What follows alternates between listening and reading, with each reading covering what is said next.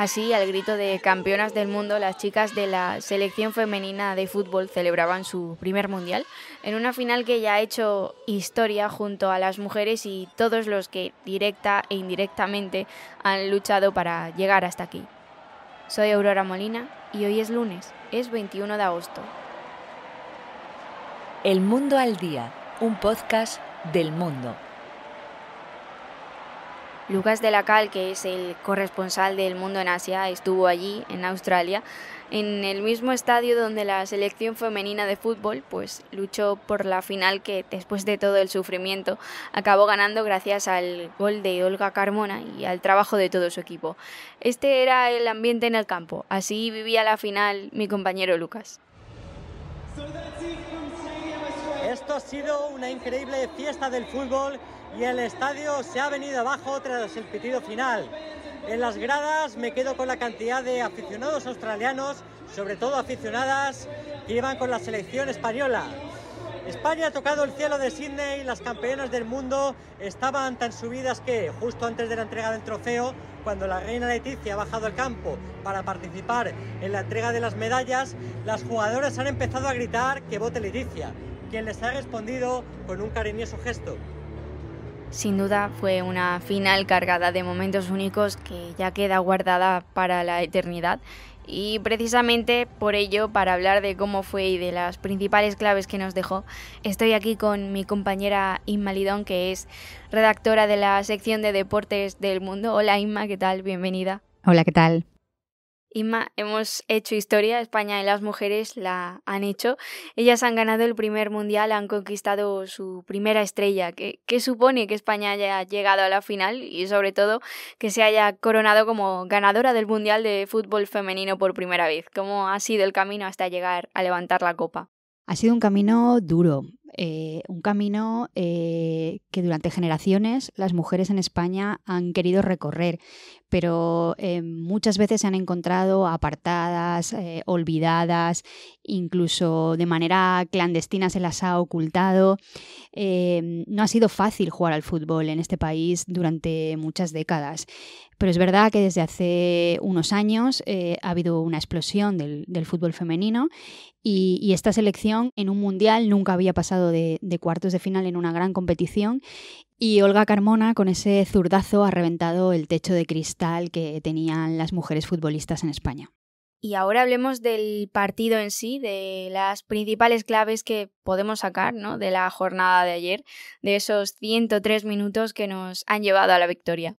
España no tenía un rival fácil en este campeonato. Es verdad que, que la selección, pues salvo ese tropezón eh, contra Japón había solventado los partidos y había ido enfrentándose a rivales eh, de mucha categoría y con mucho pedigrí, como Países Bajos, Dinamarca, y le quedaba Inglaterra, que es la actual campeona de Europa, eh, que ya las eliminó la temporada pasada en la Eurocopa en los cuartos de final y dejó un, gusto muy amargo en las españolas. Incluso mm, hay quien dice que ese fue el germen de esta rebelión que, vivió la selección durante, durante todo este invierno con jugadoras que se negaron a vestir la camiseta nacional eh, y enfrentadas con el seleccionador.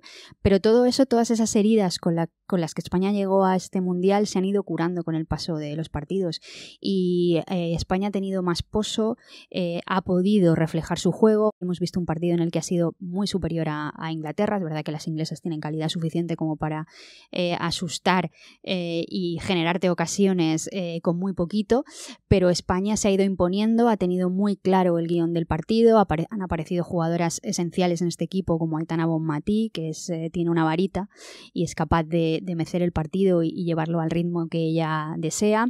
Y luego ha aparecido otra vez esa carrera en la banda de, Olga Carmona, ese disparo con el alma, que ha batido a una portera, Mary Erbs, que se ha tenido que prodigar mucho, eh, incluso eh, yo creo que ha cometido una ilegalidad que, el VAR no ha revisado, adelantándose eh, en el lanzamiento de penalti de Jenny Hermoso para atajarlo. Ha ganado esos metros que le han dado la ventaja para evitar que la madrileña pusiera el segundo gol de España en el marcador.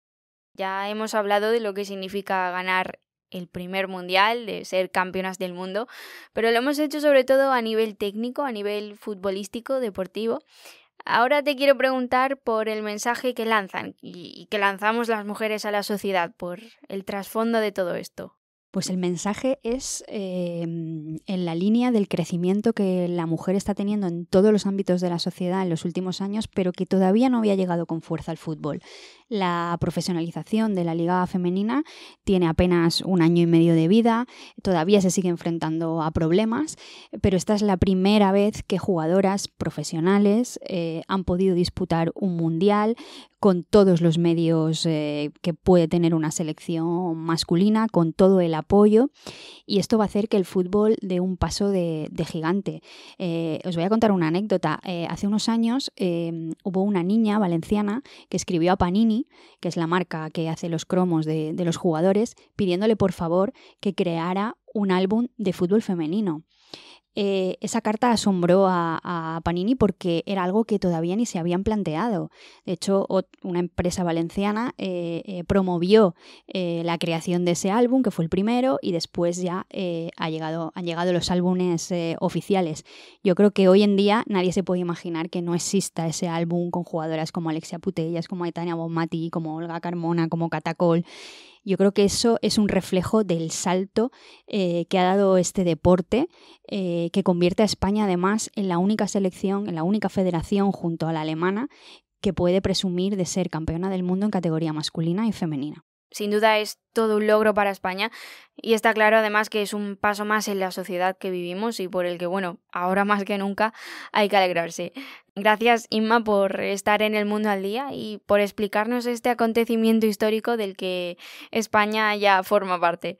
Muchas gracias. Gracias a vosotros. Inma Lidón y Lucas de la Cal han hecho posible este episodio de El Mundo al Día.